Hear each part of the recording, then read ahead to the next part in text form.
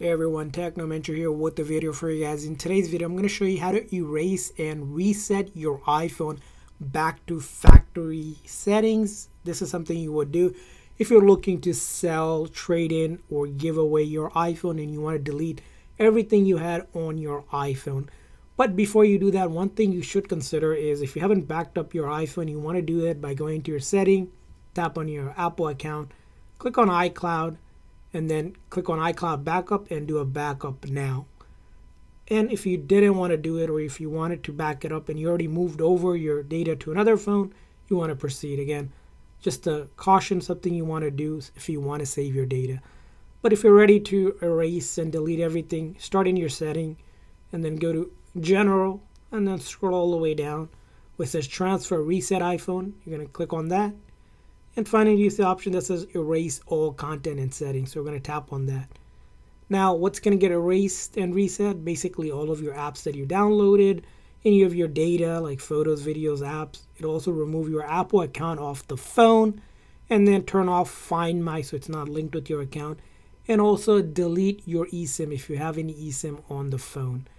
And then you can see here, uh, we're going to go ahead and hit continue and you have the option here to either keep your eSIM if you're going to, again, use your phone or delete the eSIM and completely erase all data.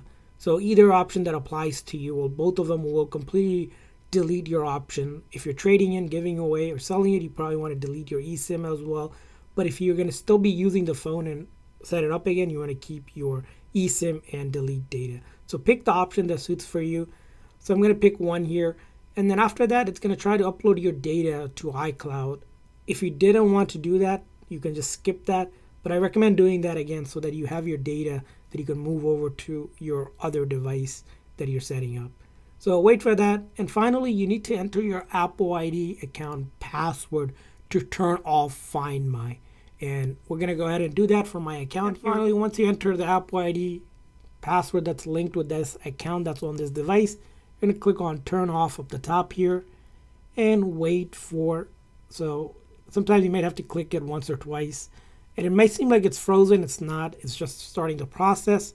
And you'll see the apple logo up here which is a good sign. It means it started the process to erase and reset your iphone.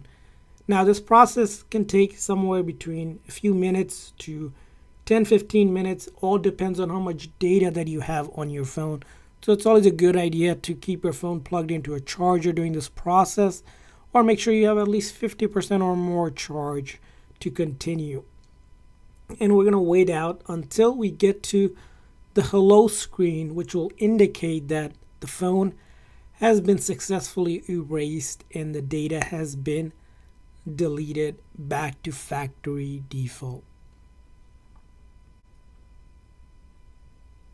And as you can see, finally, we see the hello screen, which means our phone has been successfully reset. If I swipe up, it's going to ask me for things like language and region, like if I were to set it up back as a new phone. So that's how you do it. I hope this video was helpful. So, please consider a like and subscribe button for more tips and tricks for your phone. We'll see you guys next time.